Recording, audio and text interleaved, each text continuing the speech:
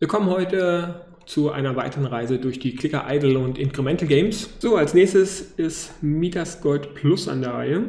Und ich könnte sagen, ich habe da mal was vorbereitet.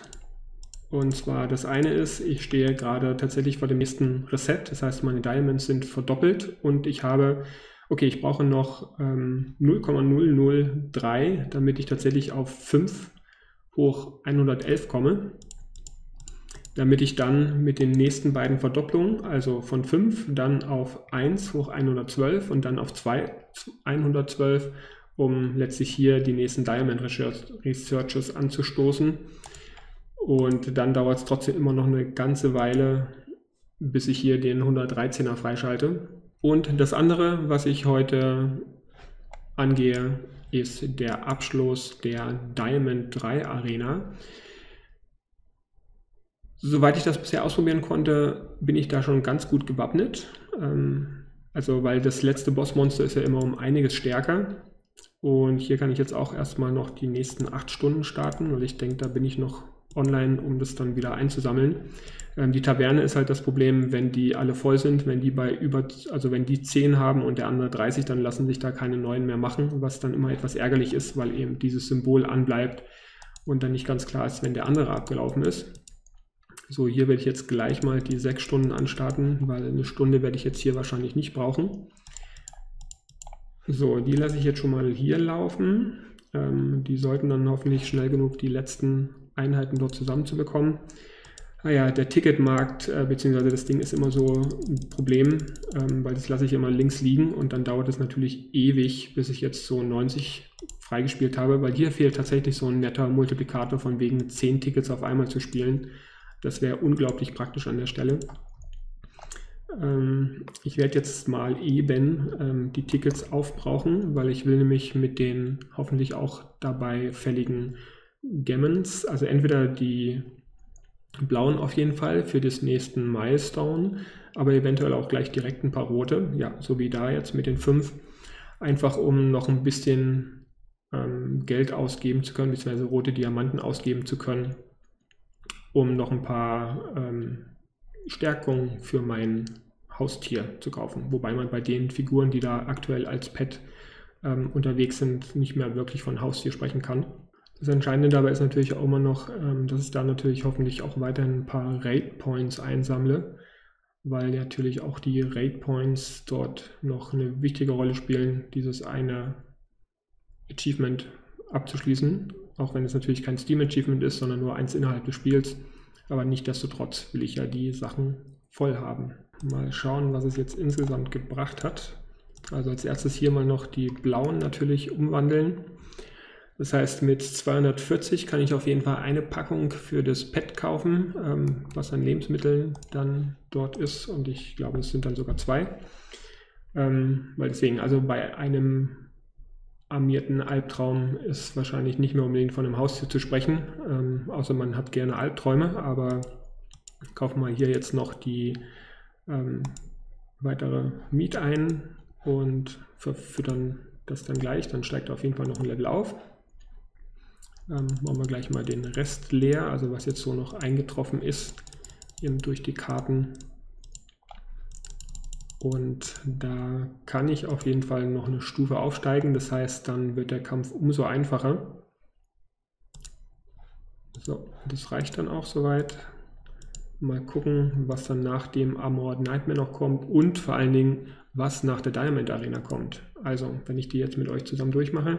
Bei der ersten gab es 500, bei der zweiten 1000% Building Profit und mal sehen, was es jetzt dann gibt. So, also ähm, der normale Angriff seht ihr, da, das bringt nicht viel. Ähm, der haut mich da viel zu schnell aus den Latschen, aber zum Glück gibt es ja noch ähm, andere Möglichkeiten. Auch hier seht ihr, das ist relativ schwierig, aber ich habe ja noch ein paar Potions auf Lager, womit ich dann meine Gesundheit zumindest noch ein bisschen angleichen kann und ich dann immerhin nicht alle auf einmal verbrauchen muss. Ähm, mal gucken, ich könnte sogar noch mal, naja, wobei es ist eh ziemlich knapp. Wenn ich jetzt kämpfe, dann kriege ich wahrscheinlich so viel auf die Mütze, dass ich nicht noch ein zweites Mal kämpfen kann. Ja, okay, das heißt, ähm, Also die 10 bis 10 Potions runter ist auf jeden Fall notwendig gewesen. Das heißt, machen wir, starten wir gleich nochmal von der Stufe her und mal gucken, ob ich jetzt noch ein oder zwei Potions mehr brauche, weil je nachdem, wenn das Glück jetzt ein bisschen schlechter ist, dann kann es natürlich sein, dass ich noch schneller schon Gesundheit verloren habe, bevor ich ihm den letzten Todesstoß versetzen kann. Ja, knapp, aber es würde wahrscheinlich nicht reichen. Gut, also Dach hätte also es hat mit einem Schlag gereicht. Okay, ich hatte ähm, Reflection, deswegen hat es dann gereicht. Auf jeden Fall 378 Rewards. Diamond, also die Division ist abgeschlossen. Diamond Stufe 4 ist jetzt als nächstes 3000. Also es ist nochmal, also beim ersten gab es 500, dann gab es das Doppelte dazu, 1000 und jetzt bei 1500 gab es das Doppelte, also 3000 Building Profits dazu. Jetzt mal gucken, ihr habt das vorhin vielleicht ganz kurz gesehen, ähm, wie langsam der Profit durchgelaufen ist. Ähm, dass die hier hinten so im letzten Stelle, aber ihr seht, es bewegt sich hier nicht allzu viel. Ähm, aber ich habe jetzt genug zusammen, um hier den Reset zu machen. Das heißt, ich werde jetzt erstmal ähm, die Temple Offer, also naja, die kann ich jetzt nicht äh, machen, solange hier noch diese Teile laufen. Das heißt, es dauert jetzt noch eine Minute. Dann schauen wir uns jetzt nochmal das Pad an verteilen die, also ich werde schon mal die BP-Points wieder verteilen. 68er ähm, sind dann durch. Und ein 72er. So. Und mal gucken, was mich jetzt erwartet. Also es gibt also noch eine weitere Diamond Arena. Mal gucken, wie schnell der mich aus den Latschen haut. Also ja, also es lohnt sich aktuell nicht, dafür jetzt die Potions auszugeben, weil es ist ja jetzt nicht allzu viel zu erreichen. Ähm, Beziehungsweise zum einen habe ich ja ohnehin jetzt die Möglichkeit, hier wieder, äh, also der läuft eh mit einem 8 Stunden, dann kann ich den ja auch auf 8 Stunden setzen. Bei den anderen noch nicht. Aber das heißt, ich kann jetzt erstmal wieder ein paar ähm, Potions kräften, vor allem die Gesundheitssachen wieder bis 30 hochleveln. Und wenn das dann der Fall ist, dann kann ich hier den nächsten machen und mich so Stück für Stück bis zum nächsten Pad weitermachen, ähm, weil mit dem nächsten Pad steigen die Werte hier auf jeden Fall wieder deutlicher an als nur von Level zu Level. Und dann sollte ich auch in der nächsten Diamond äh, Stufe 4, also in der nächsten Arena auf jeden Fall wieder besser zurechtkommen und nicht ganz so viele Potions brauchen, um ein so ein Monster zu besiegen. So, das ist abgelaufen. Das heißt, jetzt machen wir noch den Reset. Temple Offer, jawohl. So, einmal Max. Ihr startet jetzt eh gleich. Das heißt, da kann ich das auch alles dann einkaufen. Einmal hier durchkaufen, dann hier die Upgrades aktivieren, wieder durchkaufen. Das ist letztlich ähm, wie gehabt, erst zum Ende hin, ähm, wenn ich dann natürlich jetzt auch die hier noch aktiviere, damit da die Multiplikatoren ähm, Verwendung finden. Ähm, das Fass mit den 200 Prozent ähm, wird jetzt auch relativ schnell ähm, erreicht, sobald ich hier zumindest dann auf einer Ebene angekommen bin. Das dauert jetzt natürlich noch einen Moment, 67, 65er, 66.